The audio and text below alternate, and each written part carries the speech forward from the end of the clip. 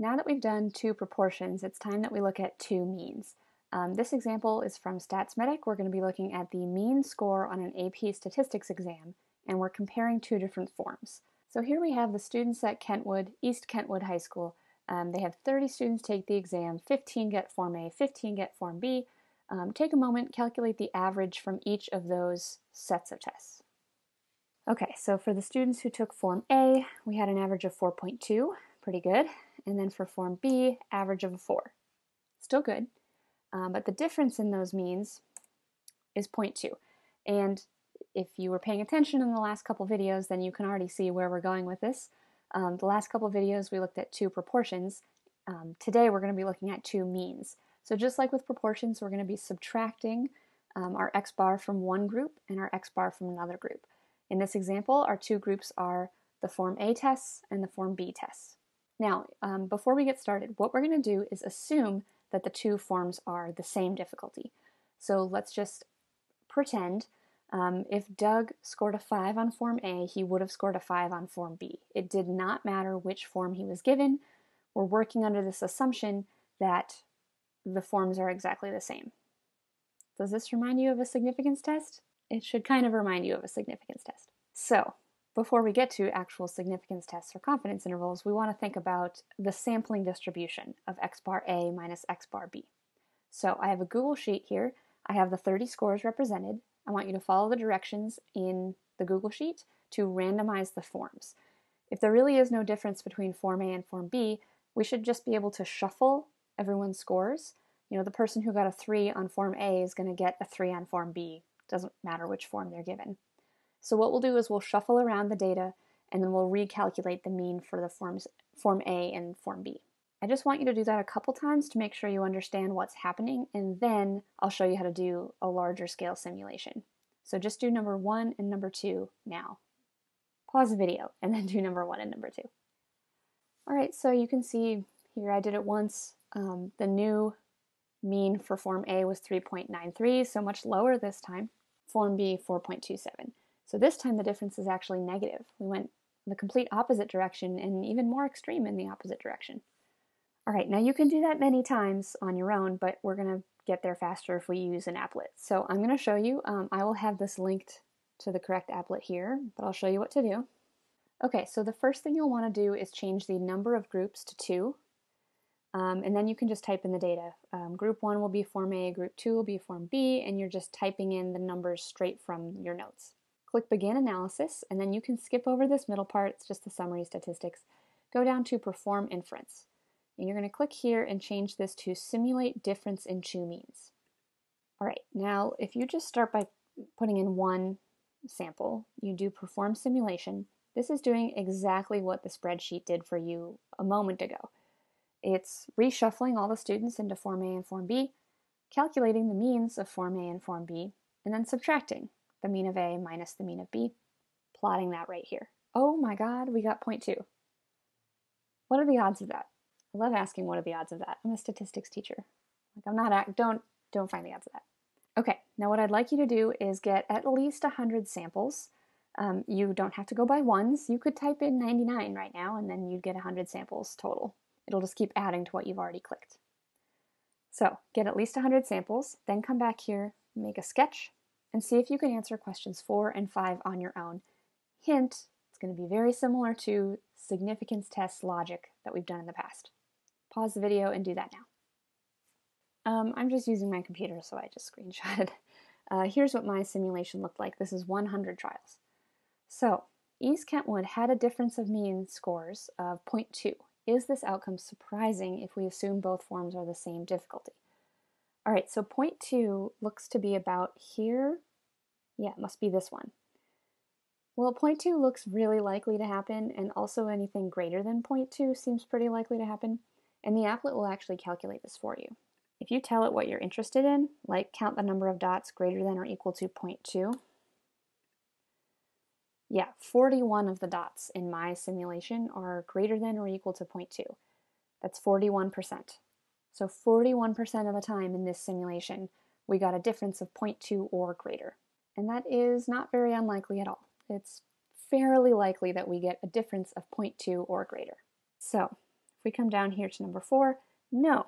Assuming the forms are the same difficulty, there's about a 41% chance of getting a difference of 0.2 or greater. Now this will obviously be different for each person who does the simulation because simulation is random. Your results probably won't look exactly like mine.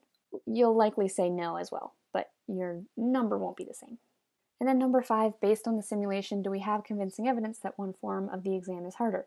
No, it's pretty likely to get a difference of 0.2 or greater, 41%, pretty likely. So there is not evidence that one form was harder than the other.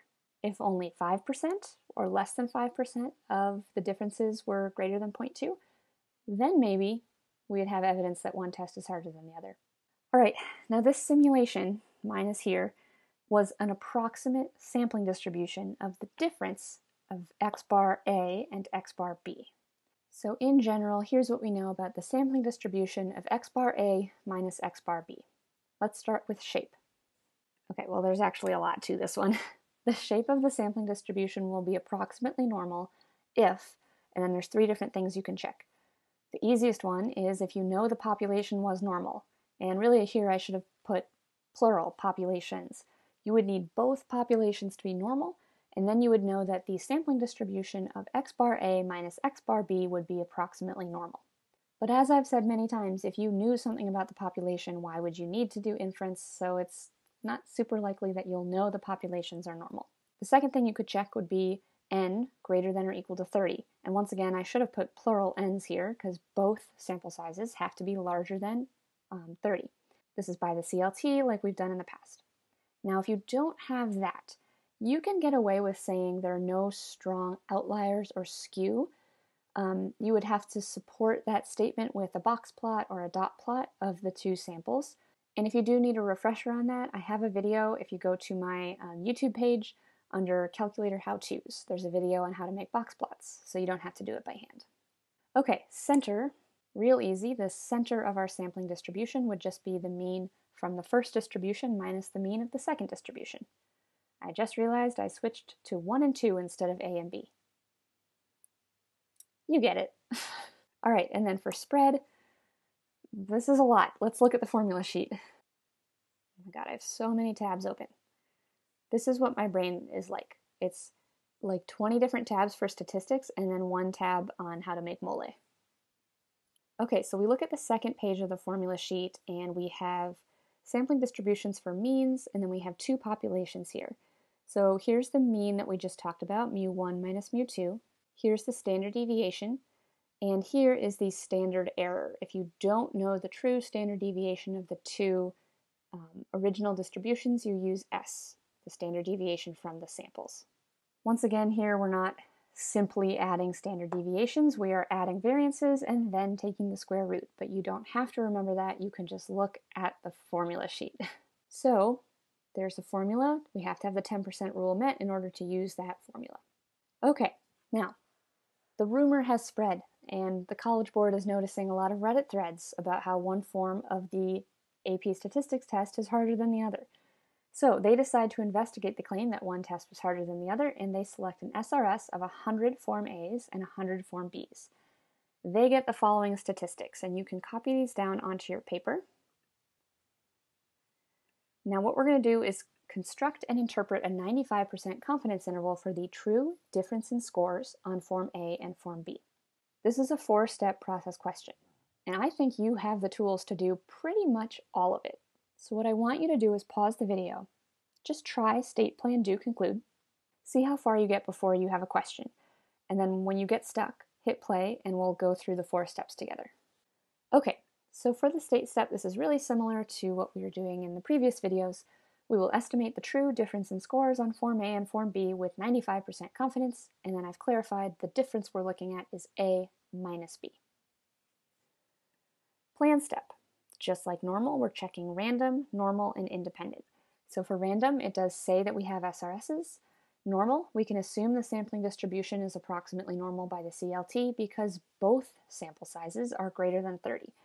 You do have to check both, so just keep that in mind. And then independence, I think it's safe to assume that more than a thousand students took each form of the test. Okay, now you can see the start of an arrow here, but before we get to that, We don't know the true standard deviation of the populations.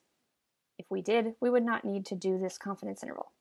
So we are going to construct a two sample t interval. Okay, it just occurred to me that the College Board probably would know.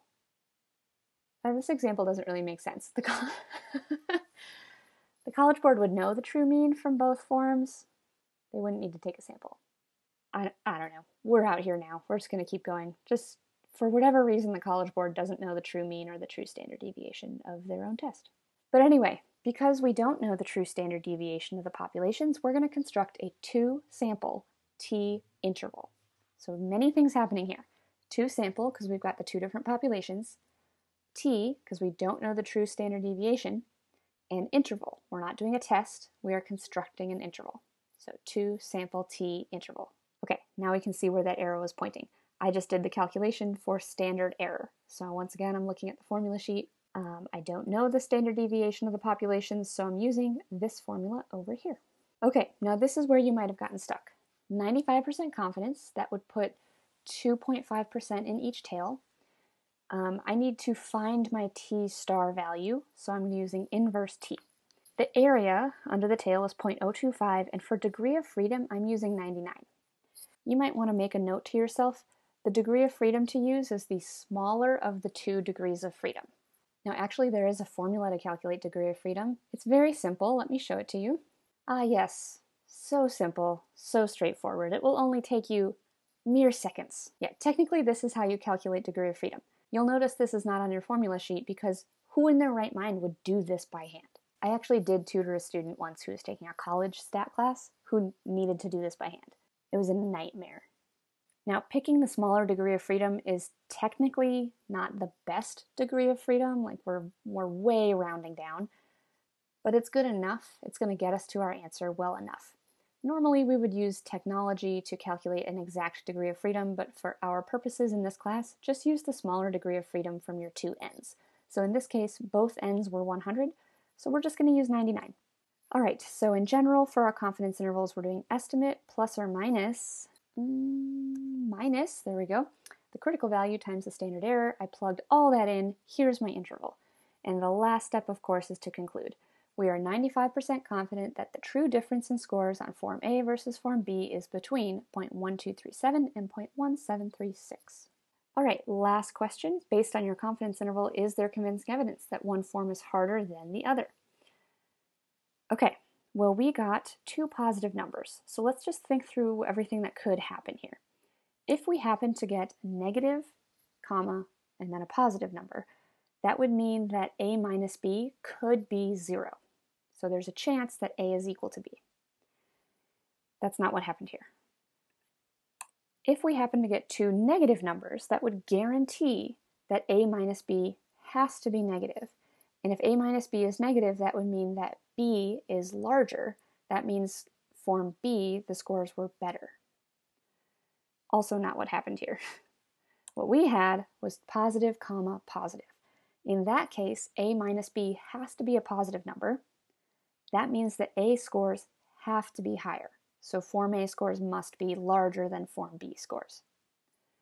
So to answer this question, um, is there convincing evidence? Yes. Zero is not in the interval, so there is convincing evidence that one form is harder than the other.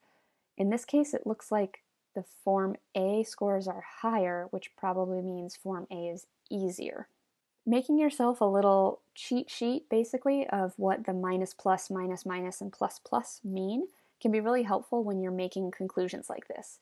Like you don't really need it for your conclude step but a follow-up question i find this really helpful okay so just one more thing if you are using a calculator to do this problem it kind of depends on who your teacher is if they want you to use a calculator or not if your calculator asks you if you're doing a pooled t interval just say no we are not pooling. At no point are we going to pool.